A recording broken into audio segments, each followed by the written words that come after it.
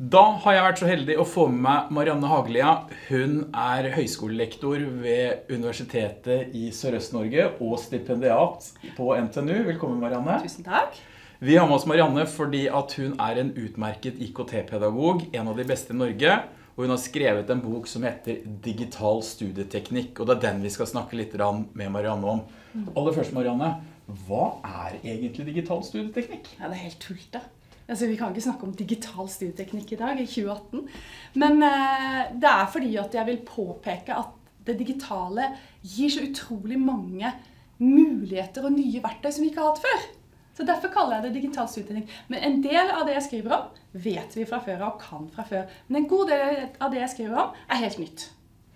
Men i praksis, hva er forskjellen på en eh, digital studieteknikk og en analog studieteknikk? Jo, Det digitale gir deg én ting som er kjempe, kjempeviktig, er at i notatene dine så kan du søke. For hvis du har masse kladdebøker som du har skrevet for hånd, så er ikke det mulig å søke. Du må lete, lete, lete. Og du laster ned f.eks. artikler fra nettet og legger det i mapper, så kan en del maskiner Hvis du er god på å søke på maskinen din, så kan du finne det. Men hvis du legger det inn noe som et notatprogram, f.eks., samler alt du trenger av informasjon der, så søker den gjennom alle notatene dine, alle artiklene du har sett, kanskje alle kapitlene i bøkene dine som du har som pensum, så du kan søke etter det ene ordet og finne det alle steder hvor det eksisterer. Den muligheten har vi aldri hatt før. Hvilke andre måter enn å notere med tekst har vi i det digitale? Ja. Eh, og det er jo mange som leser inn. Eh, og det er mange som tar opp forelesningene eh, på lyd. Så vi kan notere med lyd. Vi kan notere med rett og slett å ta og lage film. Jeg pleier å oppfordre mine studenter når de skal ha en, en fremføring. Så pleier jeg å si at ok, nå har dere gjort så mye arbeid, ta oss og spill det inn. For da har dere det til eksamen. Da har de gjort all forarbeidet til å holde presentasjonen i klasserommet. Men tar de den da opp full fart med skjermprogram, så har de den også til eksamen. Når jeg møter lærere som skal ta i bruk det digitale i klasserommet, så møter jeg ofte eh, utsagnet at er det ikke bedre å ta håndskriftnotater enn digitale notater? Stemmer det?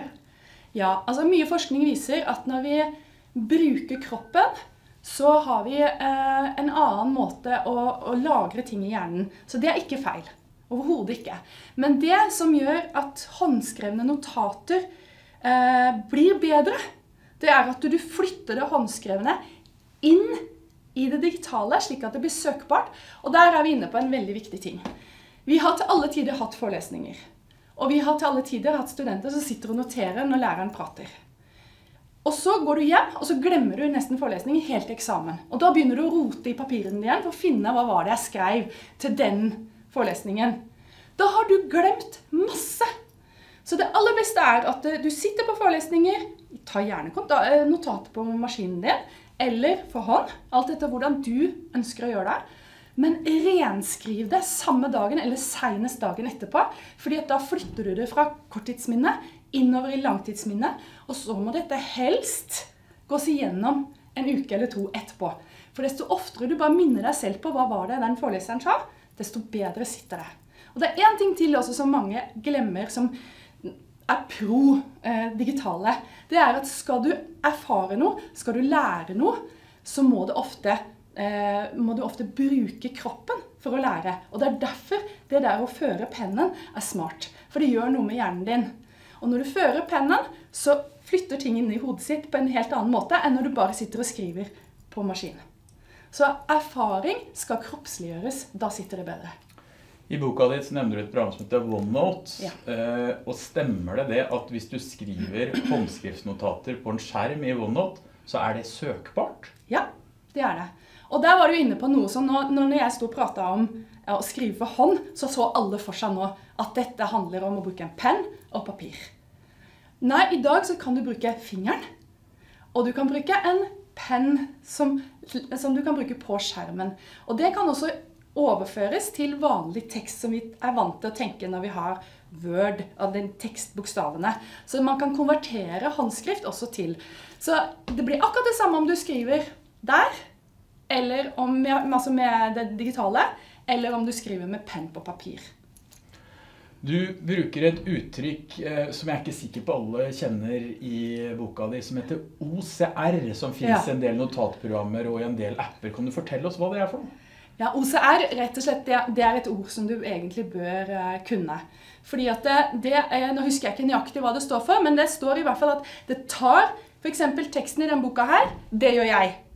Alle bøker jeg bruker, alle tekster jeg bruker som jeg ikke har på annen måte enn i en sånn papir, det legger jeg i skanneren min, og så skanner jeg det inn til OneNote eller Evernote, som jeg bruker i doktoravhandlingen min. Og da er det lesbart. Så når jeg søker i OneNote eller Evernote, så vil ord i den boka som jeg har skanna, dukke opp.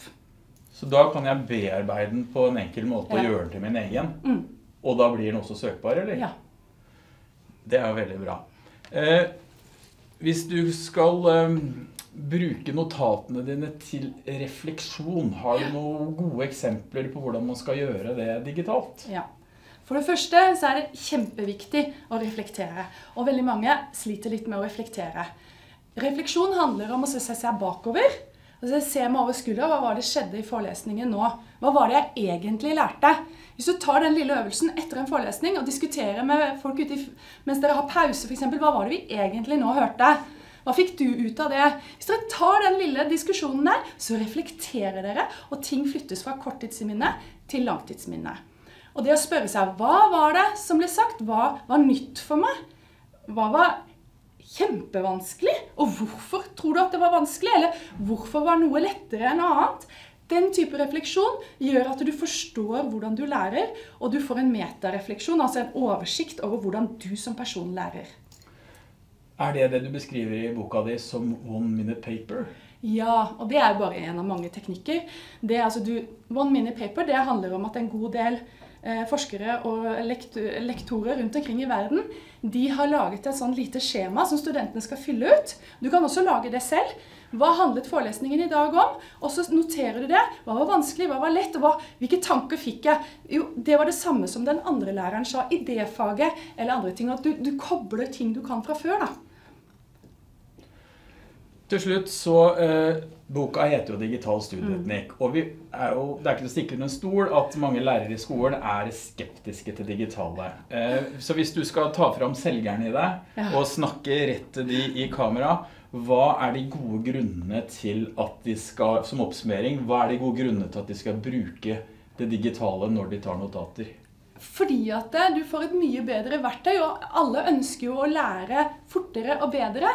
Nå vil ikke det digitale hjelpe deg å lære seg veldig mye fortere. Alt etter hva slags verktøy du bruker. Men det gir deg en bedre måte å jobbe på, og du vil få en mye bedre oversikt på materialet ditt enn masse, løse ark og masse ting i forskjellige mapper. Og du har, det er mye lettere å skrive oppgaver, f.eks. Tusen takk, Marianne.